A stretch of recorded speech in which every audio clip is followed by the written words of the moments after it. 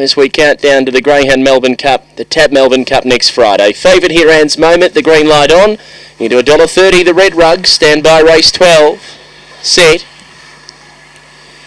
And away, Anne's moment out well, punching through to lead, got to rush away quickly. They're going to share it, getting away to third, got a permit, and they're followed by Mick Mao over Hardaway Terror, improving Valley Macfinola. A long break back to Roller Missy and Twistex trailing the field, but the favourite Anne's moment had kicked away, and Anne's moment too good by two lengths. I'd say got a rush just to get second, and nose in front of Valley Macfinola. Then Mick Mao, followed by Got a Permit, well back to Hardaway Terror, Roller Missy and Twistex has trailed the field a distant last.